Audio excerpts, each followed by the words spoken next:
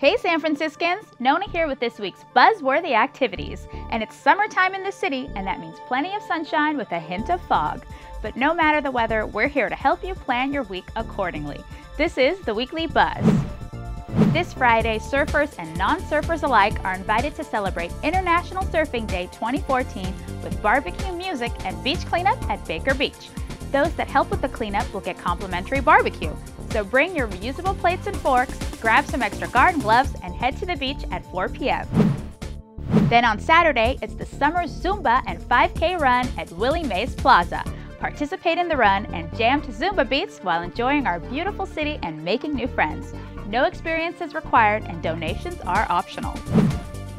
And on Sunday, kick off the Stern Grove 2014 Festival with Grammy-winning R&B legend Smokey Robinson. Since 1938, Stern Grove has been throwing free concerts in the park every summer.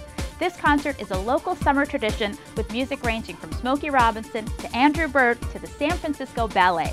So if you have yet to attend, go ahead and add it to your summer to-do list. And that's the Weekly Buzz. For more info on these events and more, visit us at sfgovtv.org and click on Weekly Buzz. And while you're on the web, check out our YouTube page and scroll to some awesome original programs. Thanks for watching.